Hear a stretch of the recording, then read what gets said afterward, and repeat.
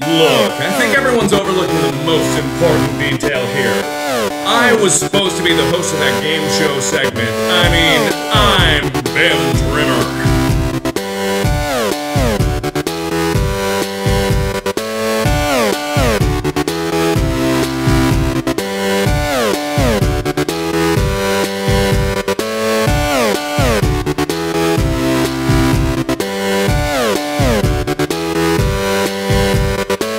Matthias, please, please introduce yourself, please. Not that we don't know about Matthias already.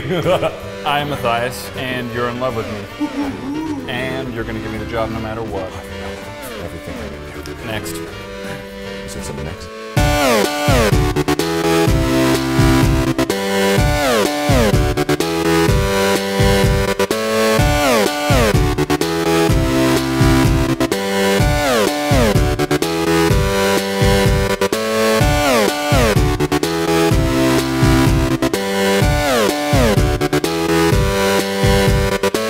I just thought it would be more based on experience and the criteria for it. Yeah, yeah, those uh, 17 internships really worked out for you, didn't they? Well, that does prove that I do have. ugly.